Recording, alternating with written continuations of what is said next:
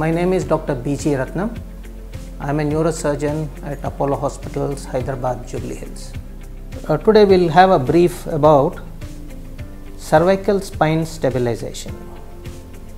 Now, cervical spine consists of seven bones. We go them by numbers starting with C1 to 7. C for cervical 1 to 7 and below that comes the thoracic spine. Normally cervical spine is designed and made for mobility. The mobility between the each spine segments like we call it C1, C2, C3, C4 and so on is different at each level. So we take spine level let's say C1 and C2 the amount of mobility and the and the directions in which you can move is different from a level below and so on and so forth. Since the cervical spine is made for mobility it is normally controlled for stability by various ligaments and joints. All these bones have some degree of mobility but they are all stable with all these supporting systems which include muscles. Now, in what situation do we need to stabilize the spine? Spinal stabilization for the neck is basically when the bone is damaged and the stability of the spine is in question. Now, the bone is can be damaged because of various reasons. Most common one being trauma or injury, where there is a fracture or a dislocation or disease diseases are common ones are infections like tuberculosis or some kind of tumors which go and destroy the bone, joints and ligaments. So, when the stability of the spine is in question, we need to stabilize the spine. Now, if you see the model, you will you will find this is front of the spine and the back of the spine. We can do different operations which can give stability either from the front or back or from the both sides. The operations we do from the front for stabilization called anterior spinal approaches where we operate from the front of the neck to reach the front of the spine and create stability. The operations we do from the back are for the from the back where we put in stabilizing implants in the back. Now, another reason why we need to stabilize the spine is when we remove the pressure from the nerves.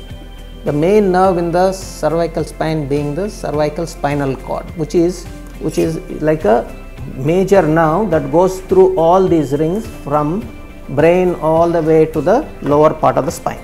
Now, if the spine is damaged or during some kind of operation where we had to sacrifice lot of bones which will cause potential instability that's when we, we do this operation for stabilizing the spine. Now there are various kinds of implants uh, which are synthetic which are some of them are metallic which we use. The ones we put in the front will go into the disc spaces or they can go into the bones to give stability.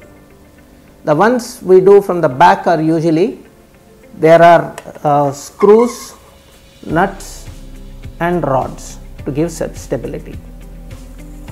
Now there is a different kind of uh, approach for when we do operations for the younger people where we do not want to have too much of stiffness after the operation where we want to give some degree of mobility between the spine like how it is naturally made. The reason why I am saying for younger people we do this because in older people by age all the joints will become stiff and they become less mobile as the person grows older.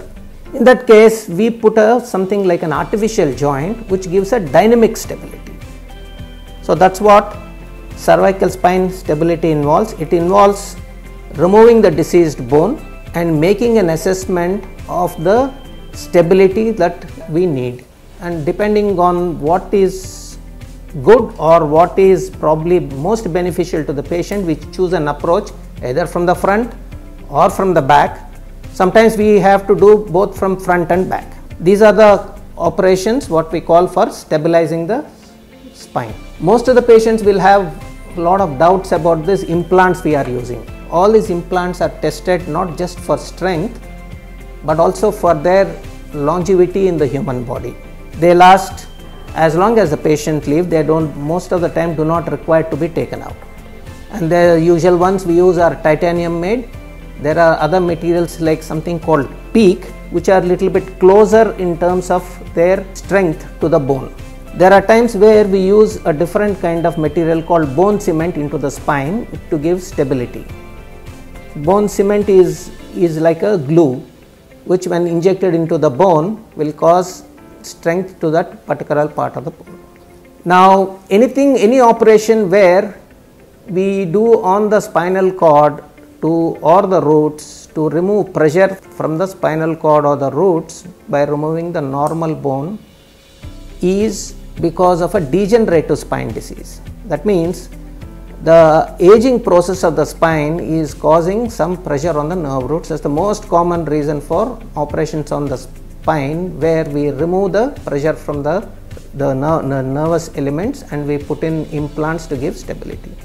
Most of the time with experience we know what will be the possible implants we are planning to use for each particular case. So we can plan for anterior, these are the implants, these are the uh, sizes of implants we can use and we use them during the operation. In Apollo Hospital Jubilee Hills, we have all the facilities required to do all kinds of spinal operations on the cervical spine.